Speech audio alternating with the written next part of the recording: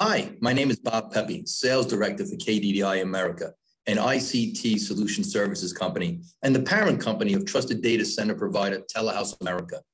Our team is looking forward to attending ITW 2021, and we are thrilled to have the opportunity to speak with you about your IT evolution. As customer strategic gateway to digital transformation, we're a one-stop shop partner that takes a consultative approach. If you're interested in discussing the strategic intent of your digital transformation or exploring how we can help you transform with cloud, co-location, peering, advanced messaging, and more, you can find us at booths 219 and 20.